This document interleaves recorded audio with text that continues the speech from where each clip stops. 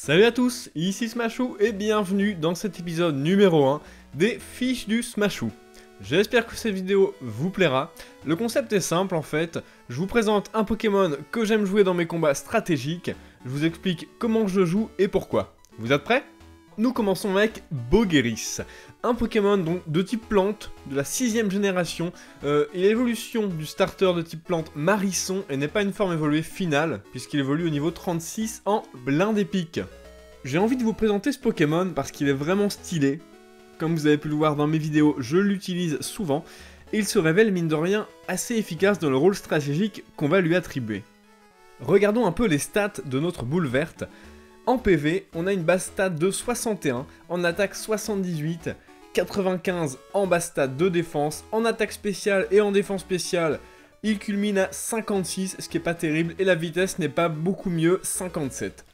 Les points forts du Pokémon vont être les PV qui peuvent monter jusqu'à 326, ce qui, est ce qui est pas mal pour un Pokémon qui n'a pas atteint sa forme finale, ainsi que sa défense qui monte à 317 au maximum, au niveau 100 bien entendu. Nous allons donc le jouer en tant que tank physique, avec une nature malin qui va maximiser sa défense ainsi qu'une répartition des EV permettant d'avoir le maximum de PV et de défense, les 6 EV restants allant en défense spéciale. Nous allons lui donner l'objet Evolurock qui va augmenter sa défense et sa défense spéciale de 50%. On se trouve donc avec un Pokémon qui aura 476 de défense et 230 de défense spéciale. Comme c'est un Pokémon défensif, il est très important d'utiliser son talent caché par balle, qui va l'immuniser à toutes les attaques basées sur des boules, telles que Ballombre, Bomberk, Gyroball et j'en passe. Bogeris a 5 faiblesses, le vol, le poison, l'insecte, la glace et enfin le feu, pour 4 résistances, qui sont le sol, la plante, l'électrique et l'eau.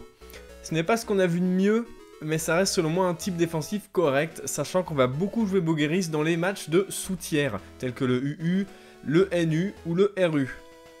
Penchons-nous maintenant sur le move pool de notre Pokémon.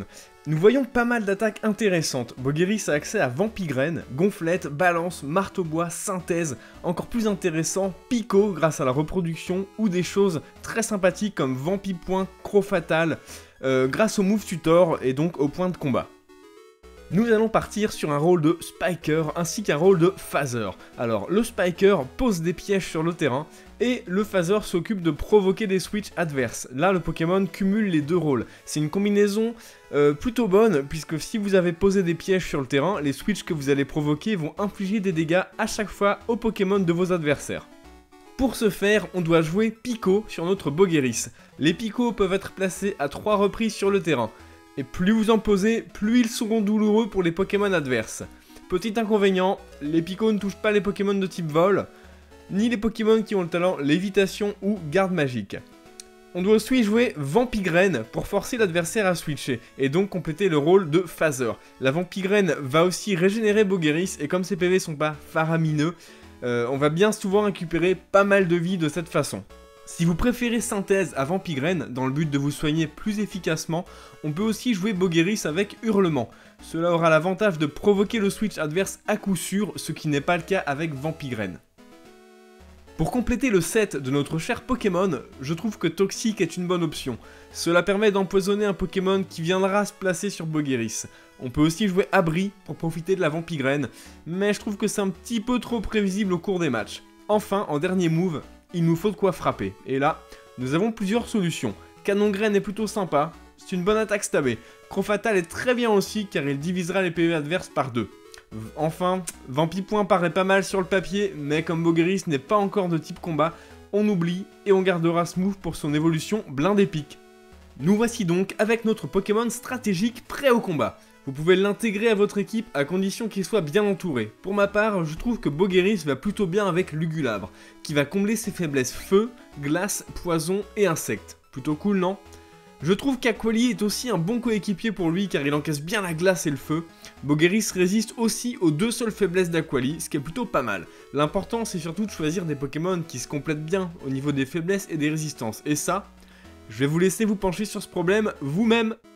Voilà, j'espère que cet épisode vous a plu les amis. Si c'est le cas, n'hésitez pas à laisser un like, mais aussi à me proposer des Pokémon qui vous intéressent et dont vous aimeriez bien voir la fiche faite par votre serviteur.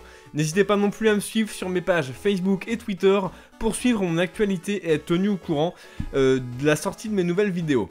Il me reste qu'une chose à vous dire, jouez les Pokémon que vous aimez et amusez-vous bien. Salut à tous